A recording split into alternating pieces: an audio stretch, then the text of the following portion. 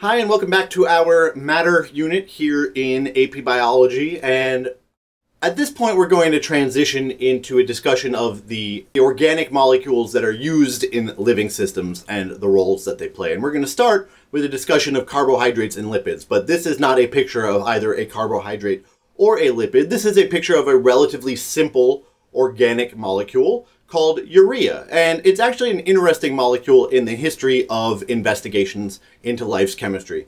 You make urea every day of your life. It is the main non-water based ingredient of this substance. This is, of course, urine. So urea is actually a waste molecule in biological systems, but it's also kind of an interesting molecule because it is the first organic molecule that was ever synthesized independently of a biological system. In the 19th century, Friedrich Wöhler synthesized urea from inorganic starting materials, and as a result, you can buy all the urea you want, and you don't have to collect it from the urine of mammals. But this is actually a really important point in the history of chemistry, because until Wöhler did this, it was thought by many people that biological molecules were somehow special, that they couldn't be created outside of biological systems. That thinking was referred to as vitalism, and it turns out that it's totally incorrect. Biological molecules are made out of some of the most common elements on the periodic table, and there's really nothing all that special about them from the perspective of what they're made out of. The question that we're going to try to answer over these next two videos is what are living things made of? And in this video, we're going to spotlight carbohydrates and lipids. And I've got this picture of a piece of bread and butter because that's a good example of these two groups of biological molecules. The carbohydrates would be found in the bread, they're in the grain that makes up the bread, and the lipids would be found in the butter. So let's take a look at each one in turn. We're going to start with carbohydrates, which you may also know as sugars or sometimes starch or fiber. Carbohydrates are a biological molecule that are made out of carbon, hydrogen, and oxygen, and they're typically represented in this ring fashion. That's an example of the monomer of a biological molecule. Most of the biological macromolecules exist both as monomers and as polymers, the polymer being a structure built out of combinations of many, many, many of the monomers. This particular monomer of a carbohydrate, a monosaccharide if you will, is glucose, which is a very, very common six carbon monosaccharide sugar. Because carbohydrates can exist in combinations, we can start sticking them together. Here we've got one example disaccharide that we get from putting two monosaccharides together. In this case, we're putting together a glucose and a fructose molecule, and we're making sucrose as a result. Sucrose is also known as table sugar. It's what you use to put sugar into your food, for instance. I've also put a molecule of water here just as a reminder that anytime we join biological molecules together in a dehydration synthesis reaction, water is produced. Of course, we don't have to stop there. We can put many, many hundreds of thousands of sugar monomers together, and then we start to get the polymers, which are the polysaccharides. This is an example of one of them. This is cellulose, which is the main ingredient in plant cell walls. This is another one. This is glycogen, which is the polysaccharide that animal systems use for energy storage, and it's how excess sugar in your body is stored in your liver cells, for example. Let's go ahead and enlarge this, and you can see each of the individual glucose monomers stuck together to make this glycogen polymer. Many, many thousands of these units would be joined together. In terms of talking about the functions of carbohydrates, they're really our go-to source for quick energy production. For instance, they're the starting material for cellular respiration, and monosaccharides and disaccharides are really what biological systems prefer to use for ATP production. Of course, if you have more sugar in you than you need at any time, you can store it. And so amylose, which is the plant version, also called starch, or glycogen, which we just saw, which is what we use in animal systems, this is for slightly longer term energy storage. But carbohydrates also have another function in systems not like our body, as a structural support in the cell walls that surround many other types of cells, just not our type of cells. What I've done here is I've blown up subsections of cellulose and glycogen so you can see the difference between them.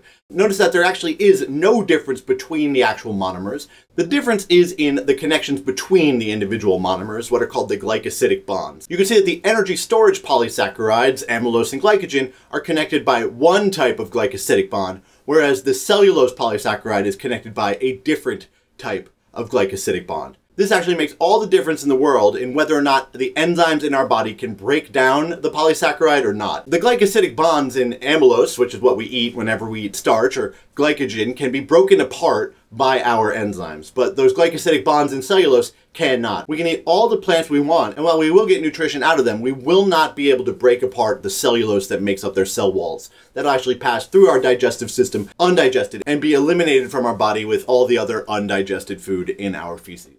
The second group of biological macromolecules we're going to talk about here are the lipids, also known as the fats, oils, and waxes, and these are also made out of carbon, hydrogen, and oxygen, though one group is also made out of phosphorus. One of the things that makes lipids unique is that there are no lipid polymers. Lipids exist as individual molecules, and that's basically all that they exist as. And even though they're made out of the same elements that carbohydrates are, they're put together in fundamentally different ways. In order to build a lipid, you're going to take a glycerol molecule, which is a short three carbon alcohol, and you're going to stick fatty acids onto that molecule. You can always recognize these fatty acids with, by these long tails of carbons and hydrogens that extend away from the carboxyl or the acid functional group. The fatty acid in the middle of the slide is a saturated fatty acid, and what we mean by that is it's a totally straight chain of carbons and hydrogens. There are only single bonds between the carbons in the chain. The one below that is an unsaturated fatty acid, and what we mean by that is that there's a double bond between two of the carbons in the chain.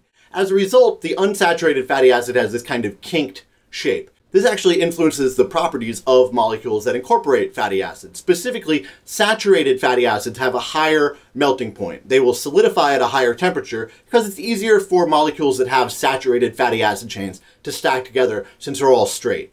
Unsaturated fatty acids have a lower melting point. You have to lower the temperature more to freeze them than you have to do with fatty acids, and that's because the kinked shape in the unsaturated fatty acid tails makes it more difficult for unsaturated lipids to stack together.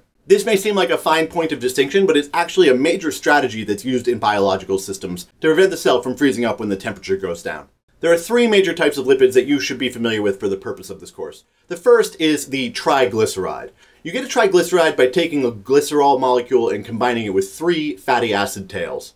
The example triglyceride that I'm showing you here has the glycerol up at the top, and we can see that it's an unsaturated fatty acid because those fatty acid tails have kinks in them. Triglycerides are used in biological systems for long-term energy storage. They actually store more energy per unit of mass than carbohydrates do. The other place where you may have some familiarity with triglycerides is their use in insulation. Most of animal fat, for instance, is made out of triglycerides. I've also put a note here that when you make a triglyceride, you liberate three water molecules, one for each place where you join that fatty acid to the glycerol molecule. Again, just making the point that dehydration synthesis is the way in which we build biological molecules. Our second group of lipids is the phospholipids. You get these by joining a glycerol with two fatty acids and replacing the third one with a phosphate group. Phospholipids are the main ingredient in cell membranes. They're what makes the cell membrane bilayer. And the reason they can do this is because the phosphate group is hydrophilic or attracted to water, and the fatty acid tails are hydrophobic or repelled from water. The term for any molecule that has a hydrophilic and a hydrophobic region is an amphipathic molecule. And as a result, when you put phospholipids into water, they will spontaneously form into structures that enable the stable arrangement of these hydrophilic heads and hydrophobic tails. Let's look at how this is done in the cell membrane proper. So what we have here is just a typical cell. We're going to look at this little corner of the cell membrane. We can't see the phospholipids yet, but we're going to go in and look at that little square that I've outlined here in blue. We'll blow that up here, and there you can see the individual phospholipids. They're represented here in cartoon form, but notice that the phosphate head is pointing outward into the aqueous environment surrounding the cell or inside of the cell, and the fatty acid tails are pointed inward toward each other. That's what we call the phospholipid bilayer. It's one of the main ingredients in any cell membrane, and it's because of phospholipid's amphipathic nature that this structure, which is incredibly important for living systems, can exist stably. The last group of lipids that you need to be aware of are the steroids, and we can recognize steroids because they have multiple fused rings together. Steroids play a really important role in cell signaling, and we'll talk about that later on in this course. They serve as one important group of hormone molecules, the chemical messages that are sent from one cell to another. And they also serve a role in the cell membrane as a temperature buffer. Let's look at each of these functions in depth. Here are two different steroid hormones. Notice the fused rings. These are the hormones estrogen and testosterone, which are really important in determining mammalian secondary sexual characteristics, why males look like males and females look like females. And notice that these two molecules are almost identical. In fact, it may be hard to spot the difference, so I've gone ahead and surrounded it here for you. But that small difference is all that you need in order to send a completely different message to any cell that receives these signals. In terms of the temperature buffer function of steroids, we can see that in the cell membrane. There's a steroid molecule incorporated right there into the bilayer. And the steroids basically act as molecular bumper cars in the cell membrane. If the membrane gets too hot and the phospholipids start moving too much, the cholesterol will get in the way and slow the phospholipids down, which prevents them from moving as fast as they would if the cholesterol wasn't there. Similarly, if things are getting too cold and the membrane starts to solidify, the cholesterol will also get in the way there and prevent the fatty acid tails from being able to form a stable crystal lattice. Since the cholesterol is helping to moderate the effects of the membrane getting both too hot and too cold, we say that it acts as a temperature buffer. So that's it for our discussion of carbohydrates and lipids. Thanks so much for watching. Make sure that you can do the following things here at the end.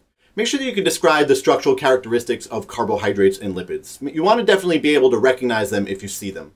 Also make sure that you can explain how carbohydrates and lipids contribute to biological systems. And finally, make sure that you can explain how changes or variations in the structure of carbohydrates and lipids contribute to the variations we see in those molecules. How, for instance, do the variations in amylose and cellulose contribute to the differences in whether or not biological systems can use them or what they use them for? How do the differences in saturated and unsaturated fatty acid tails contribute to differences in the melting points and freezing points of those molecules? If you can do those things, you're doing great. If not, that's okay too. Take a moment and write down any questions that you have so that you can get the answers that you need.